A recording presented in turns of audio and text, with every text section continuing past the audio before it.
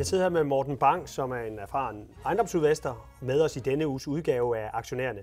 Morten, er det rigtigt, at øh, fast ejendom er et alternativ til aktier?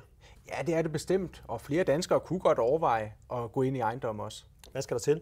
Ja, men du skal selvfølgelig have noget kapital, og så skal du have en dedikation og et engagement til at sætte dig ind i det her, for det kræver noget, og så skal du have lagt dig en god strategi. Det glæder vi os til at blive klogere på i næste udgave af Aktionærerne.